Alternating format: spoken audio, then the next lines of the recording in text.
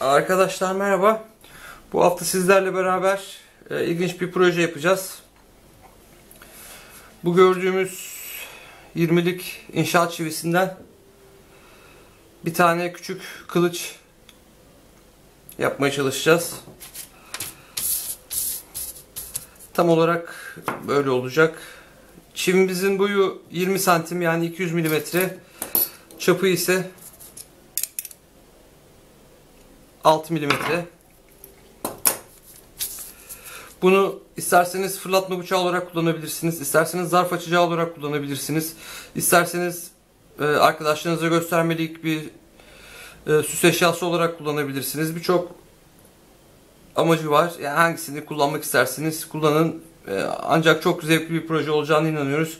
Gerçi yapıp yapamayacağımız kesin değil ama en azından deneyeceğiz biz. E, bunu çiviyi ısıtarak dövmeyi düşünüyoruz. Yani işlemesi kolay olsun diye. Ancak ısıtmanıza gerek yok. Soğuk dövmede yapabilirsiniz.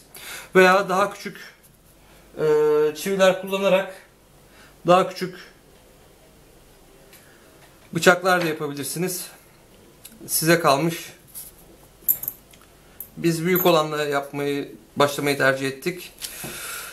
Çivimizin baş kısmını e, kılıcın sapı olarak düşünüyoruz. Şimdi orantılayarak işaretleyelim malzemenin üzerine. Ondan sonra işlemeye başlayacağız. E, projeyi gerçekleştirmek için esasında sadece testere, çekiç e, ve zımpara kağıdı bulmanız yeterli.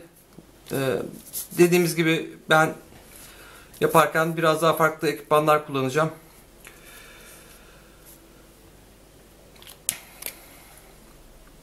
Baş kısmı sap.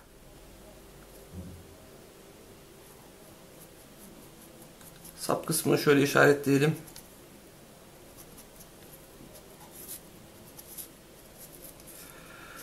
Orta kısmında şurasını yani buradan buraya kadar olan mesafeyi el kalkanını geçirmeyi hatta birazcık daha kalın yapmalıyız orayı. Şöyle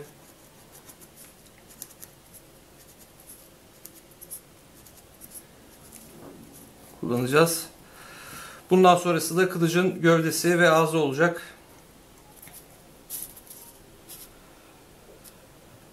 Sap biraz kısa oldu gibi. Sapı biraz daha uzatalım. Şöyle yaparsak daha doğru olur. Tamam.